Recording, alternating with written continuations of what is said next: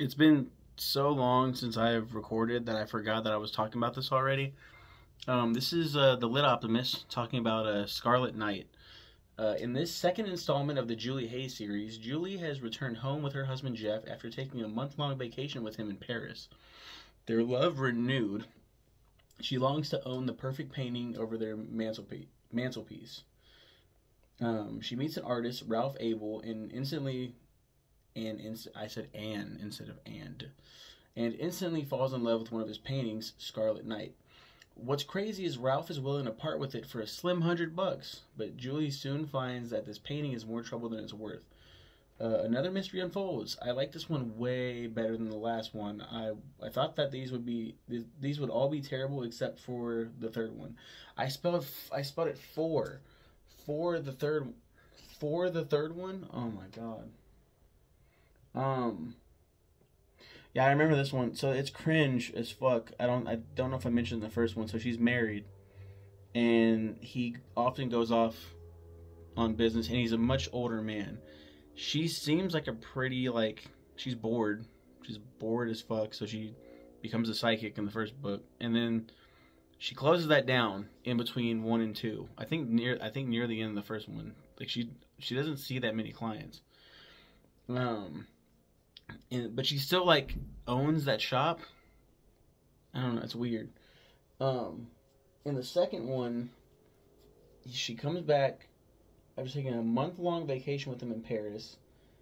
She's very like infantile with him. Like she's very like it's creepy. It's, it's like ew. Like why are you like? And then and she even says it herself. She's like I disgust myself with how I uh, become so like childish with him and stuff. Like it's just, it's like yeah, that's fucking gross and weird. Um, yeah, there's the there's the painting, and then Sweet uh, what's the name? Sweets Romano, Sweet Romano, Sweets Romano, the mob boss from the first one.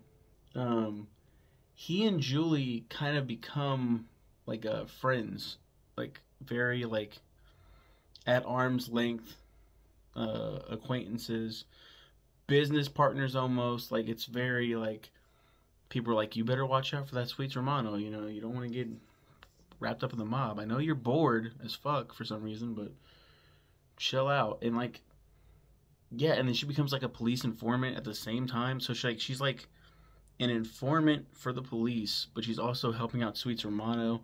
And yeah, the Ralph Abel, I think he disappears in this one and they have to find out what happened to him. The painting is like a stolen painting or something. I just remember being so invested, like, oh, okay, I can see what the first one is just so fucking weird. There's a pimp. Um, there, she's a she's a psychic. she owns a she's a phony psychic, just because she's fucking bored. It's a, it's so weird that people were like, hmm, like this. I want to see where this is going just because of the clusterfuck that this is. The second one, it was like, okay, now we got to try to actually like have an outline of where the fuck Julie Hayes is going. Like, where is she going with all of this? Who is she as a person? Let's talk more about her marriage. Like, let's talk more about her relationships and let you know. Let's get down to the nitty gritty and like actually like have a, a plan for this for this uh, this tale, this saga that we're creating.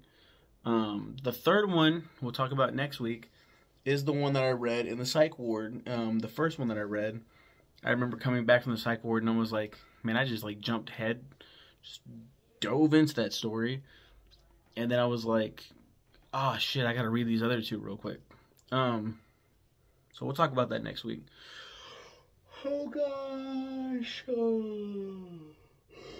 you guys have a good one. Take care.